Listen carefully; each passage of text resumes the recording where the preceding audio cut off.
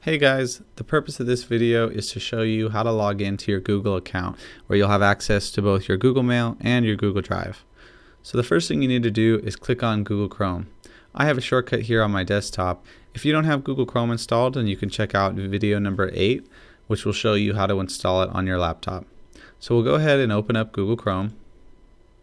And the first thing we'll need to do is navigate to the Google homepage.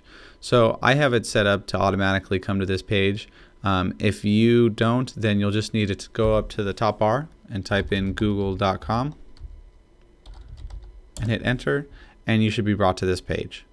Up at the top right of this page, you'll notice a button that says sign in. We'll go ahead and click on that and that'll take us to the login page.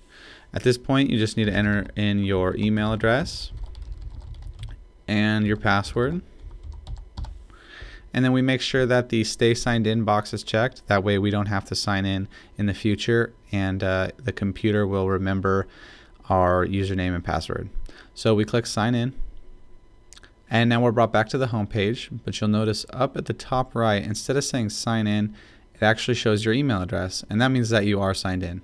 So to access your mail or anything like that you just need to come to this apps button which is super important. This is kind of our little control center allows us to access anything that we want to access, any of our Google products. So we click on that and then you'll see this drop down and on this drop down is mail and also our drive.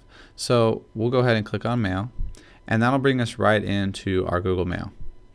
And now say we wanted to access our drive, uh, we can just come back up to that apps button, click on that and you can open drive as well.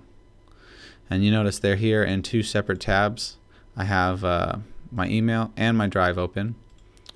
And so uh, now let's pretend that uh, we close out and uh, we return to our computer the next day after we've already logged in and uh, we come into Google Chrome.